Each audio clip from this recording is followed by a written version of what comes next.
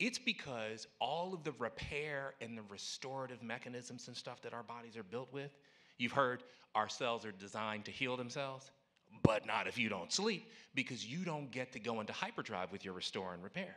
So, guess what? Your central nervous system that controls the way you think and remember and and be patient with your you know spouses or at work or whatever so you're snapping off you can't remember something and you're super tired and you think you have dementia you don't have dementia you didn't go to sleep We don't, we don't, we don't stop. We don't, we don't, All right. we don't stop. I said we don't, we don't, we don't stop. We don't, we don't, we don't stop. Outside, inside, we don't stop. Global, worldwide, we don't stop. From the bottom to the top, we don't stop. From the burbs to the block, we don't stop. Outside, inside, we don't stop. Global, worldwide, we don't stop. From the bottom to the top, we don't stop. To the block, we don't stop.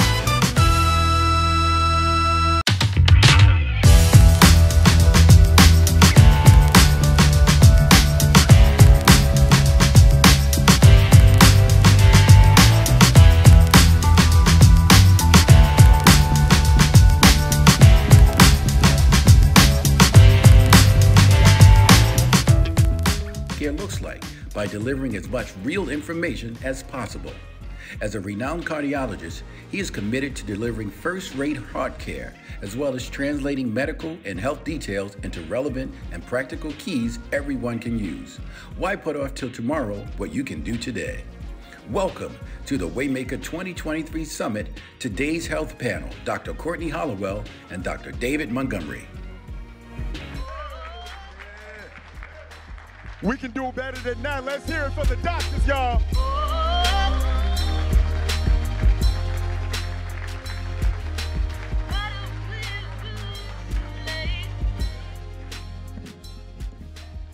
Two two I'm so excited for this conversation. Yeah. As evidenced by the fact that I didn't even want the intro video to play. I said, come on, let's get right into it. um, you know, this is such an important conversation because oftentimes as black men, we don't talk about health. There are a few things we're going to talk about. What are some of the unique challenges that black men face with our health? But then we're going to be solution oriented and we're going to talk about how we can mitigate common uh, health occurrences that we deal with and how can we foster wellness in our communities. But before we get into that, I would love to just talk to you, Dr. Dave. Why did you become a medical professional? I think it's good to, to frame why this has become a passion for you. Yeah, you know, I, I, uh, we have to say that a lot, or at least write it a lot when we apply for medical school and all that stuff. And I didn't have a really good answer. I was 10 years old when I started saying I wanted to be a doctor. Um, there was no doctor in my family. My pediatrician didn't particularly care about me. I don't know where it came from. It's kind of one of those things. This is what you're meant to do. And who am I to, you know, second guess that? So it started there. The cardiology piece came. My dad died suddenly of a massive heart attack at 53. And although I don't think that was a part of the forward thinking as a 22, 23, 24 year old guy, um, it certainly was, right? I mean, if you think about it, right? So I'm now trying to figure out how do we stop people from having what my dad had? So that's essentially it. Uh, I would simply say that um, medicine runs in my blood. Yeah. Um, Your dad you know, was a doctor my, as well, right? My, my dad uh, is a urologist. My brother's a urologist. My sister's an internist. My wife's an OBGYN. My wife's sister's a psychiatrist. My, uh, it just keeps going on. My sister's an internist. Uh, it just keeps going on. And, uh, you know, my dad always said, uh, you know, because as urologists, we deal with uh, sometimes urine in the blood. And he always stopped me when I was a kid and said, you know what? It's better to have urine. It's better to have blood in your, uh, to have blood, uh, urine running through your blood than to have blood in your urine. And I thought, oh boy. But I, I'll say that what brought me to surgery is, um, you know, I think you have to have a calling, right? And I think sometimes it speaks to you. And uh, I think the first time I saw an operation, instead of me looking at, wow, okay, these are the steps and look what this guy's doing, what was going through my mind is, man, I could do this better than him. And I, I right away thought it clicked and I understood spatially what needed to be done. And uh, I knew, um, you know, right from that moment that I was not only going to be a doctor, but I was going to be a surgeon. Yeah. Powerful. That's a calling. Yeah, we're talking about the doctor side of it, but I want to get into the patient side. Why is it so damn hard for us to go to the doctor? Yeah. Why is it hard for us as men when we have an ache? Even me, myself, I didn't realize back problems running my family until my dad had a major surgery recently. So now I go to the chiropractor, et cetera. And I thought that I was just supposed to live with this pain. I gotten so used to it, Right. and it felt uncomfortable to say that I have a pain. Why is that? Yeah.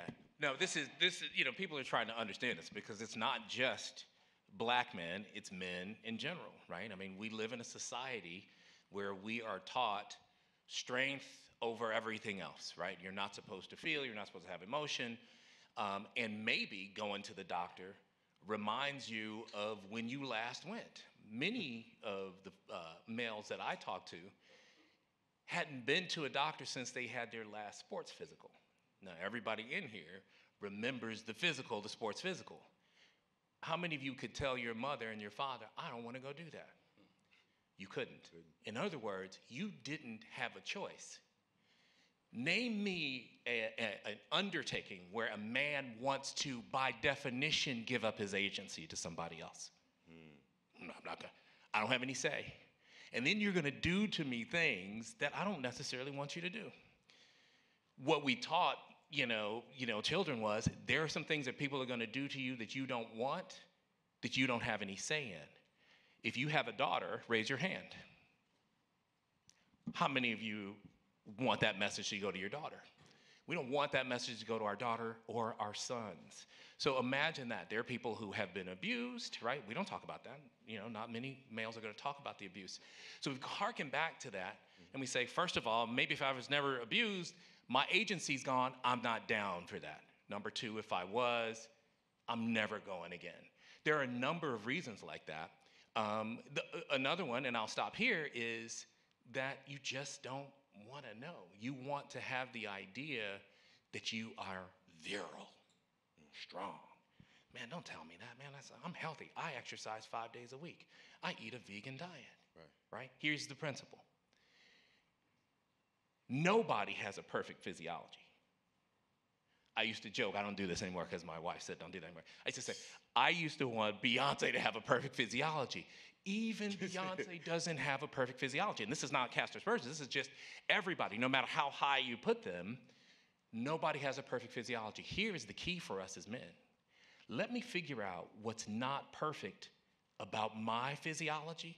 It's gonna be different from his, yours, and everybody else's, and take really good care of it. That's the key. Absolutely. Look, this concept that uh, men are from Mars and women are from Venus, it's true. You know, we're raised entirely different. And many times women try to f- spend a lot of their trying, time trying to figure out why we tick the way we do. But to be honest, a lot of this has to do with learned behavior, right? Um, we were talking about this earlier about how we, all you have to do is look to a playground and see when a young man falls on the ground and when a young lady falls on the ground. When the young lady falls on the ground, we all walk over there, run over there. How are you? What's going on? We got to get this checked out. But when a man skins his knee or a boy skins his knee, you're all right. Suck it up, tough it out. Boys don't cry, right? And so, this concept of being vulnerable and being hurt and wanting to get it checked out is not something that you can do because that's not what men do, right? And so, the other problem is, is one, and this concept of saying, look, as as children, you went to see a pediatrician, but ultimately, after that time period, most men don't see anyone, right? The only reason why they go to the doctor is because they broke an arm or they got appendicitis or have a hernia. Otherwise, they're going to try to steer as far away from a doctor as possible.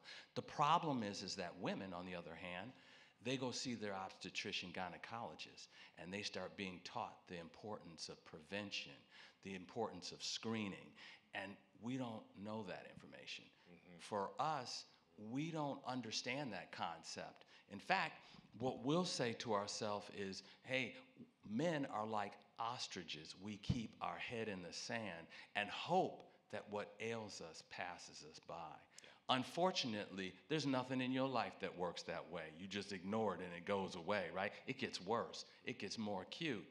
And the problem is, is that because men don't understand the concept of prevention, we don't understand when you when now I got high blood pressure and diabetes, and I'm thinking, wait, why is this a problem?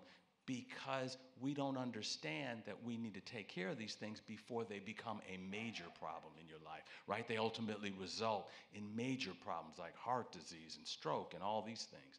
So the other problem is men think because they feel fine, they're healthy. Mm. And that's not necessarily true, right? Someone who has high blood pressure, early high blood pressure, may not feel anything. Yeah. But unfortunately, we think to ourselves, I feel fine, so I'm healthy. I think the first thing I want to tackle as we get into what wellness looks like is this mindset. You guys said something very poignant that I don't want to glaze over. You said this is learned behavior, which is encouraging because that means it can be unlearned.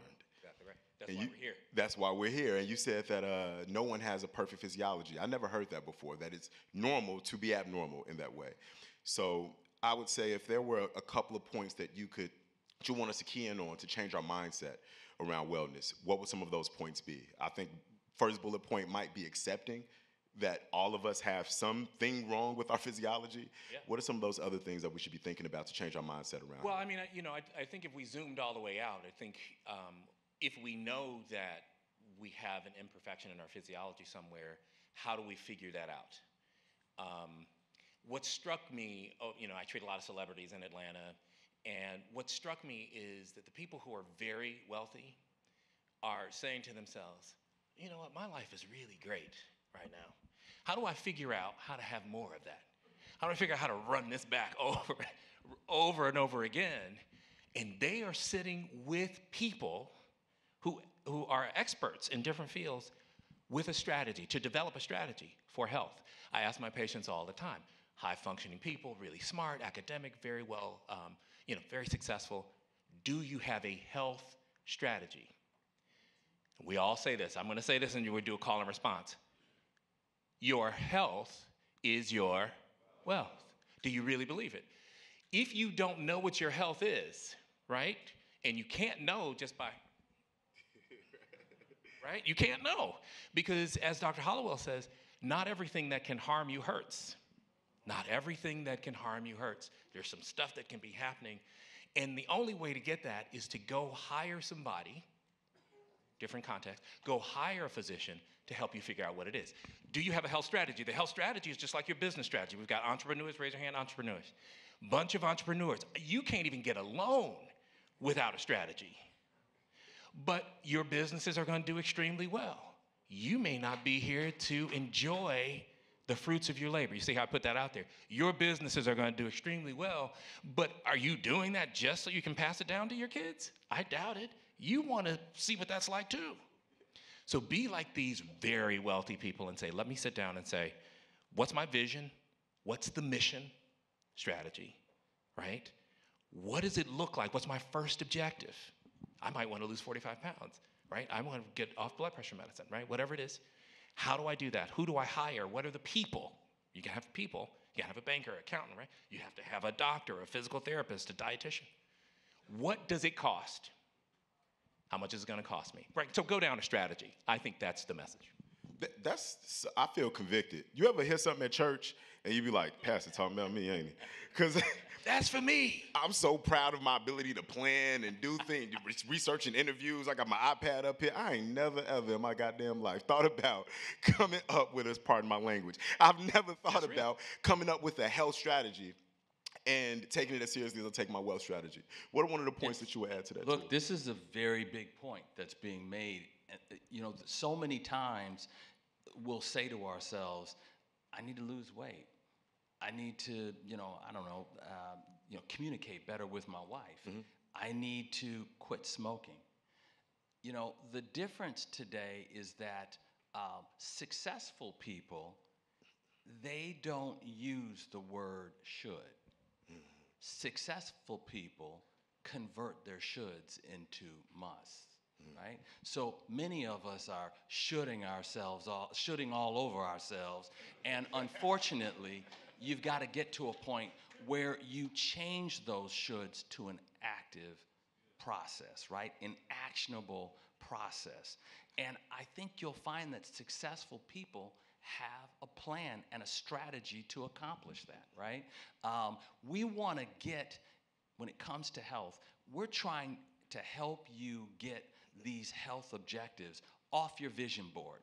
I need you to get it into a plan, right? We want you to figure out the way in which this can actually be realized for you, right? There's so many things that we have on our vision board. And a lot of you are here today and are, are wishing for some of those things. But mm-hmm. we want to figure out how can we translate that vision board into reality for you. Let me give you an example. Mm-hmm. I, I, I have a patient who is a smoker. Now, every smoker knows they need to quit smoking. I don't know a smoker that says, What? I got to quit smoking. This is good for I, you. I, I, I should be doing this. But, um, and, and I think the data suggests that, you know, 70% of smokers want to quit smoking. It's only about 30% of smokers that are actually at that point to make that difference in their life.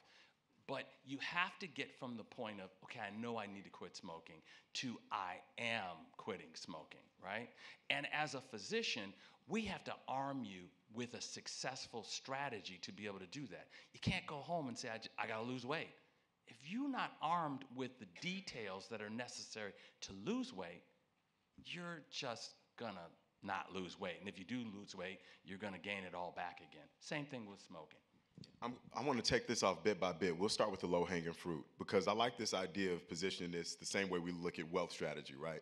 But the thing is, for all of you who started your business, I bet it was daunting when you first hired that first accountant, and when you first filed those business taxes. When you oh, first do all those things, very intimidating. So I want to take the intimidation out of this health plan that we're coming up with. Let's start with the low hanging fruit.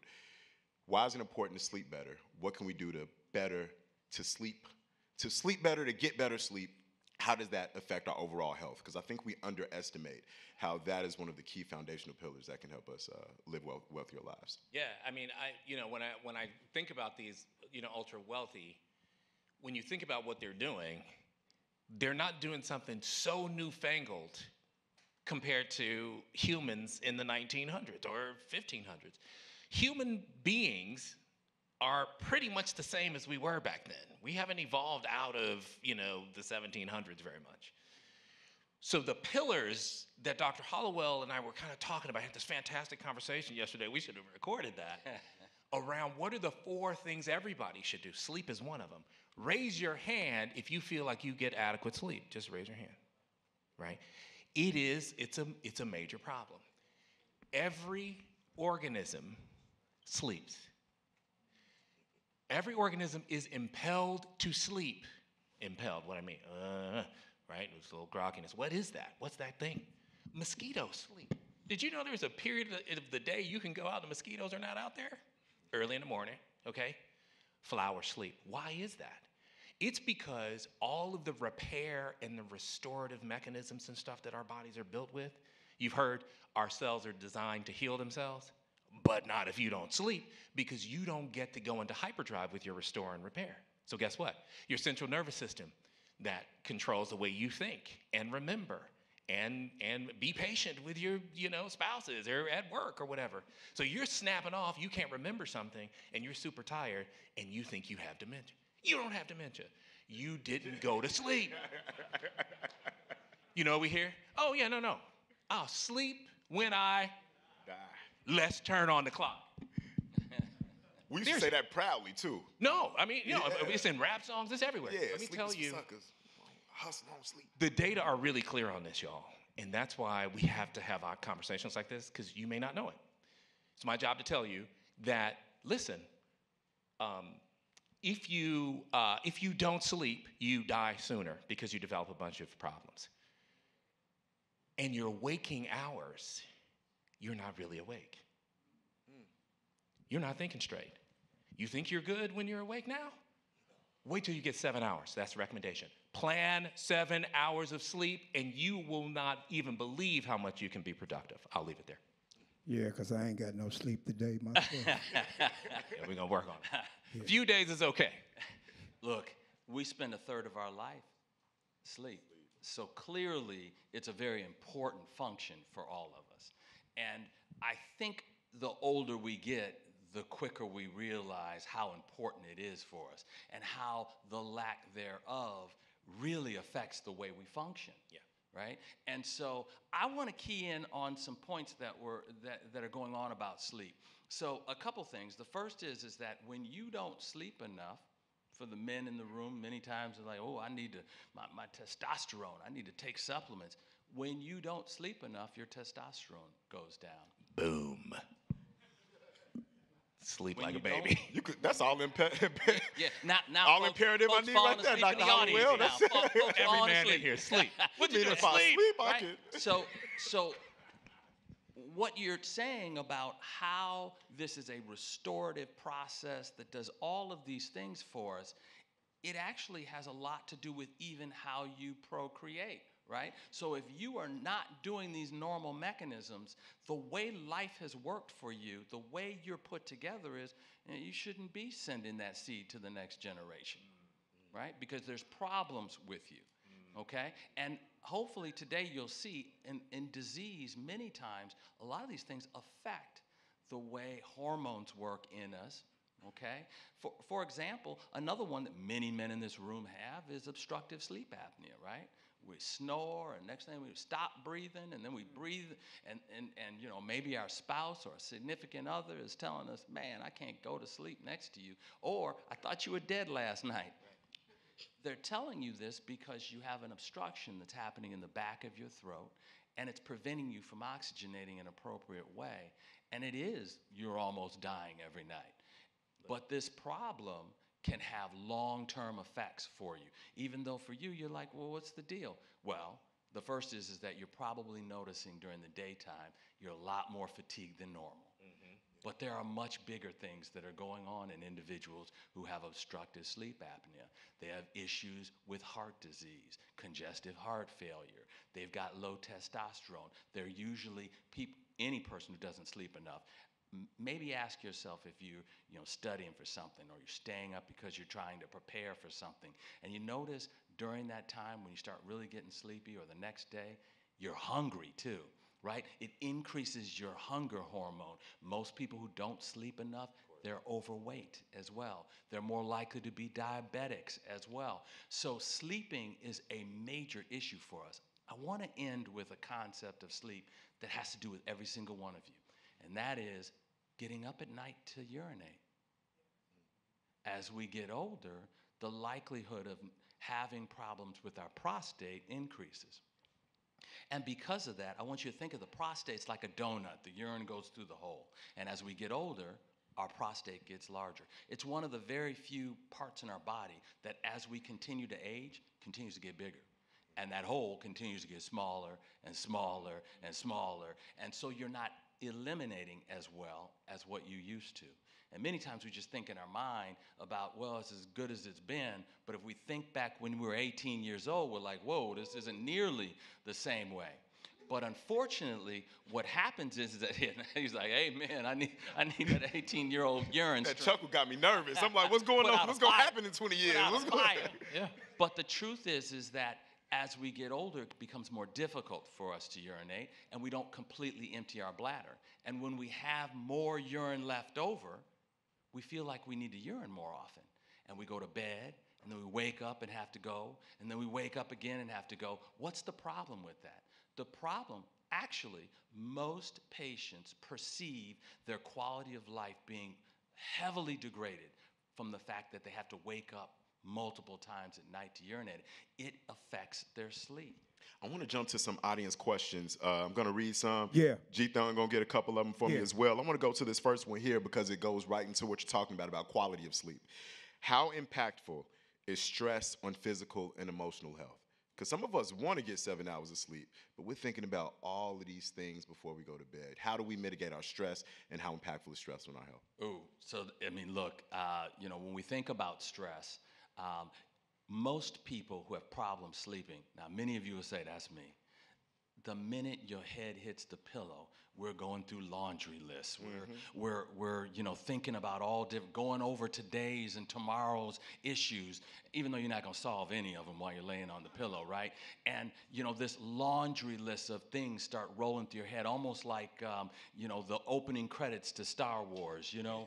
Uh, you know, just keeps going. A long time ago in a, in a you know, galaxy, long t- way ago. But you know, the problem is, is that we keep going through this stuff and we perseverate. Some of us have that perseverating personality, and so that becomes very difficult because you become anxious at night. You start watching that that that uh, you know the clock. Um, and then stress starts to occur, and it becomes a vicious cycle. Now, when you think about your bed, when you think about your pillow, you're an- anxious about the fact that you know this is what's going to happen when it should be your sanctuary. So how stop that Celebrate. endless You- growth? but, but what's what's what's celebrate again? Perseverate. This guy. Yeah, I, I do that word. Just I don't know what it is. Okay, don't worry about it. Okay. So, so how do we stop that? that Yeah, no, I mean, so so we're we're not saying that it's easy. So I'm not trivializing that there is difficulty sleeping. What we're saying is, have you even sat down and thought about it? Do you have a strategy for it? Nah, nah, I'm gonna be okay, right? I used to do. I used to burn the candle at both ends. That's what we're almost taught as as trainees. But when it's that's like an adolescent, right? Oh yeah, I'm good. There's no consequences to my actions. You have to sit down and say, "This is my health issue." Remember, everybody has something. This is mine. Let me figure it out. Right? You can't think like a, a boy, right? When I was a child, I spoke like a child. I thought like a I even reasoned like a child. But when I became a man, let's finish it. I had to put away childish childish things. Oh, thanks. It's childish to think I'm just gonna not sleep, not feel good, and it's not gonna come home to roost. And then the young boy that you raised doesn't have a father because you died at 60. We're not trying to be macabre. I'm shooting straight with you because these are things you have control. Only you have control over this. Nobody can take you to go get your sleep evaluation and to do what it takes to get the sleep. Here's what I'm gonna put this on everybody. This is a universally uh, recommendable thing seven hours of sleep. I literally had to graduate and say, my whole life and world is, is, is sort of designed around seven hours of sleep. Do it for a week. You, will you take that challenge with me? Do it for one week. Try to get seven hours. If you can't get seven hours, then you know that your job. You got to figure out what that is. Seven hours. Raise your hand if you're gonna get seven hours. Give me one week, seven hours. Your life, as the kids will say, will hit different. You want to go to the audience and grab Yeah, the I want. question? Yeah, I'm gonna go As to the the audience kids and see you heard it. who uh who got a question for the doctors.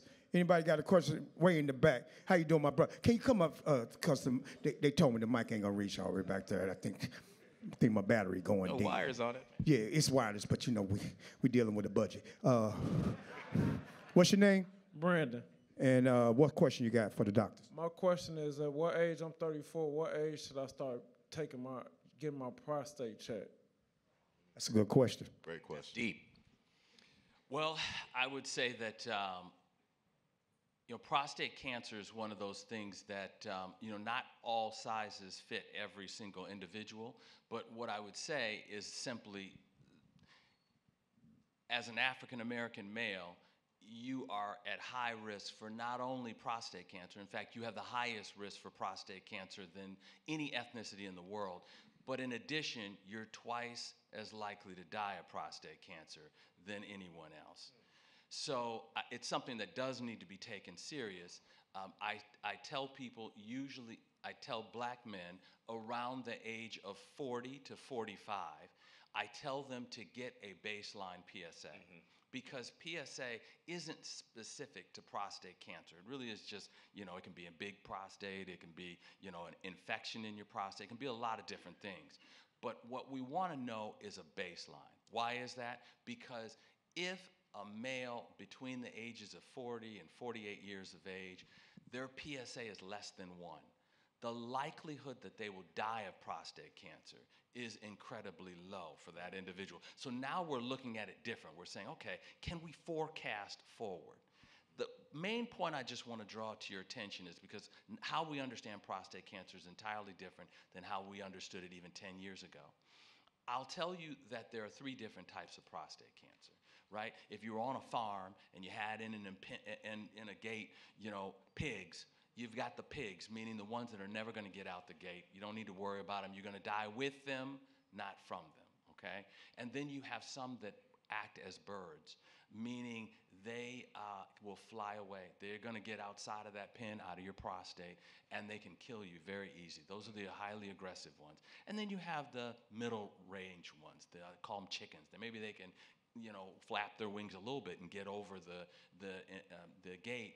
That's going to be a problem. So we're going to not kind of pay attention to the ones that are going to be clinically not meaningful to you and pay attention to the ones that are going to be clinically harmful for you. Got any, uh, one more, another question? Yes, sir. Come. Yeah. Yeah. No, the mic. I told you the mic don't really work. What's your name? Robert, your opinion on coffee. Um, so it- that's hard just because um, one size doesn't fit all. You're going to hear it a lot, but it's really true. Remember, everybody's health is like a fingerprint.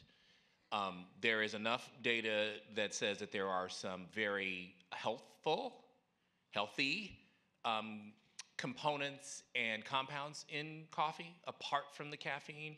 And then obviously there are people who, even if they get a little bit, their heart's racing, their blood pressure's higher. How do you know where you fit? You've got to know what your blood pressure is.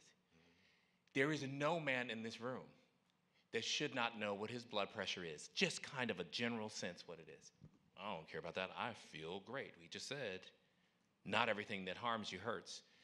And in order for you to understand, can I drink coffee? How much of it can I drink? Obviously, moderation is the kind of a human sort of, you know, uh, uh, uh, norm, right? We know that we should try to keep it in the middle of the road. But can I even drink a little bit without harming myself, without being able to feel it? You gotta go and hire some specialists to help you figure it out. Um, and that's an individual thing. I got, a, I got, a, I got, I got a question. And and how do we get black men to go to the doctor? You know, because we kind of afraid to go to the doctor. How do we get black men to go to the doctor? Yeah, I mean, I, I, I think that's, you know, part of what we're all agreeing that all of the things that go into why we don't go, something happened to, you know, a friend, they got put on a medicine, you think that the medical establishment is in cahoots. There are a lot of that stuff. You start thinking back to history. We have a lot of really good reasons to be afraid of it. Um, but that doesn't, I don't, I'm not, you know, I'm not looking at a, a bunch of afraid men. We've got to figure out how to be afraid and do it anyway. I love that. Amen. That is the perfect, perfect way to book in this conversation. I wish we had more time, but I think we got our doctor's orders. First, we're gonna develop that health strategy, right? We're gonna get seven hours of sleep every day this week and take inventory of how good we feel. And what we started to get to with the coffee conversation, we wanna eat well and take our nutrition seriously. You guys can stay in tune with Dr. Dave Montgomery via his show, The Good Doctor TV, online. Dr. Courtney Hollowell, thank you so much for being here today and speaking with us. Did you guys enjoy this conversation?